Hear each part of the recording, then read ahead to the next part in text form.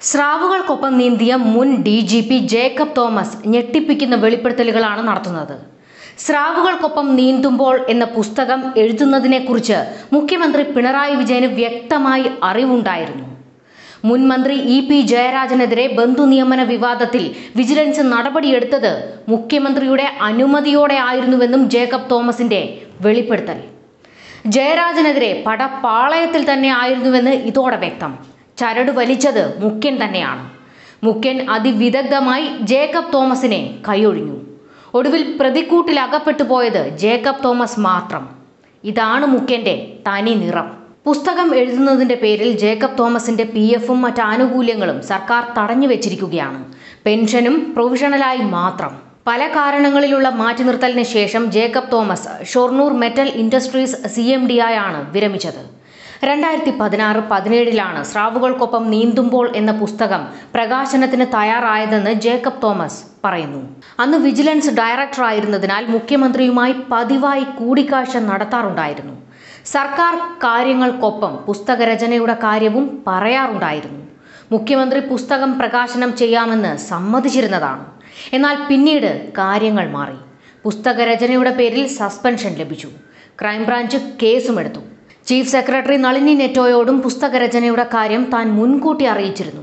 രേഖാമൂലം പുസ്തക പ്രകാശനത്തിന് ഏകദേശം ആറ് മാസം മുൻപേ സർക്കാരിനെ അറിയിച്ചിരുന്നുവെന്നും അദ്ദേഹം വ്യക്തമാക്കുന്നു. ബന്ധുനിയമന കേസിൽ മന്ത്രി ഇ പി ജയരാജനെതിരെ വിജിലൻസ് നടപടിയെടുത്തത് മുഖ്യമന്ത്രിയുമായി ആലോചിച്ചാണെന്ന് ജേക്കബ് തോമസ് പറയുന്നു. ജയരാജന്റെ ഭാര്യ സഹോദരിയും സി പി എം കേന്ദ്ര കമ്മിറ്റി അംഗവുമായ പി കെ ശ്രീമതിയുടെ മകനെ ചട്ടം ലംഘിച്ച് കേരള സ്റ്റേറ്റ് ഇൻഡസ്ട്രിയൽ എന്റർപ്രൈസസ് ലിമിറ്റഡിന്റെ മാനേജിംഗ് ഡയറക്ടറായി നിയമിച്ചു എന്നതായിരുന്നു ജയരാജനെതിരായ കേസ്. മാനേജിംഗ് ഡയറക്ടർ സ്ഥാനത്തേക്ക് ശുപാർശ ചെയ്യപ്പെട്ടിരുന്ന രണ്ട് പേരുടെ പേരുകൾ പട്ടികയിൽ നിന്നും വെട്ടിക്കളഞ്ഞു.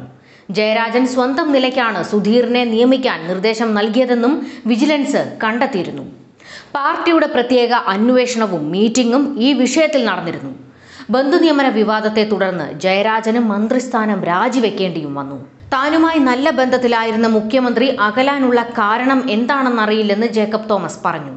രണ്ടായിരത്തി പതിനേഴിലെ അഴിമതി വിരുദ്ധ ദിനത്തിൽ നടന്ന സെമിനാറിൽ അഴിമതിക്കെതിരെ സംസാരിച്ചു എന്നതാകാം അകലാനുള്ള കാരണമായി കാണുന്നത്. ഇതിനായിരുന്നു രണ്ടായിരത്തി പതിനേഴിലെ ആദ്യത്തെ സസ്പെൻഷൻ തുടരെയുള്ള സസ്പെൻഷനുകൾക്ക് ശേഷം കോടതി വിധി പ്രകാരം സർവീസിൽ തിരിച്ചെത്തിയിട്ട് രണ്ട് വർഷം കഴിഞ്ഞെങ്കിലും ശിക്ഷണ നടപടികൾ തുടരുകയാണ്.